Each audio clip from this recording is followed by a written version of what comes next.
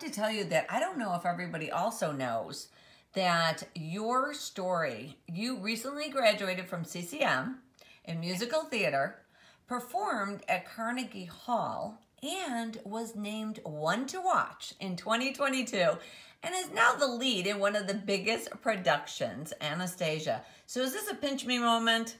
uh, absolutely. Every night I'm kind of just like, how is, this is my life. I feel so lucky and just so excited every night to get to do this, uh, especially because it's something that I love to do. Absolutely. So when you got the call or the email or the text, I don't even know what they do now. Um, were you complete? I mean, what did that moment feel like? It was surreal. I was just, I, I was waiting, you know, to see what was going to happen. And I just was so excited when it finally came in. And it was the news that I wanted. And I was just like, goodness, like this is actually going to happen. And then I had to wait a couple months and then it happened. So it was really exciting. Oh my gosh, those couple months must have been like, okay, what's really going on here? right? You have to just like wait for something to start, you know? Right, right. So, as a young girl, did you always know you wanted to go into this business? Um, I think I knew when I was in like my early teens that I really enjoyed it. I think I always loved musicals growing up. I never knew that it was something that I could really pursue until I went to like a performing arts camp as a kid and I was like, "Oh, okay, yeah, like I really want to do this. This is really fun to me. Like I can see myself really being able to do this as a career." Absolutely. So, do you have a favorite? There's so many incredible scenes. Do you have a favorite scene?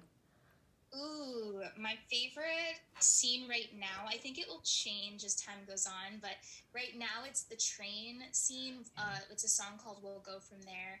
It's just super fun for me because it's like the one time I get to be with the entire cast on stage and it's kind of intricate and it's just a lot of it's a lot of fun and the music is really fun in that scene too.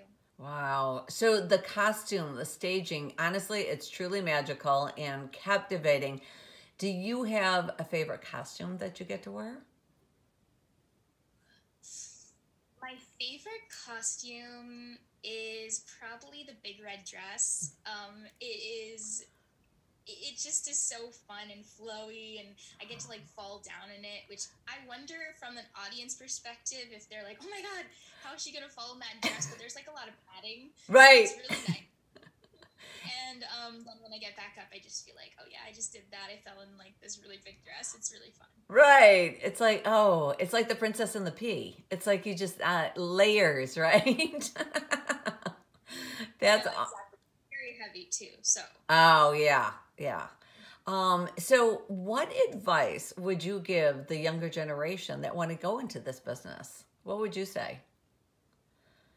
Um, I think that I would say that you have to just work really hard and and you know stay in your own like lane in terms of don't let others kind of get in your head about right. things like as long as you know what you're doing like that's all that matters really uh, i think that when people start to like let other people in their heads or you know let others influence them that's where you kind of like steer off course um, right. as long as you just stay like you know what you're doing you know what you prepared that's all that matters Oh, that is terrific. And you know what? Thank you again.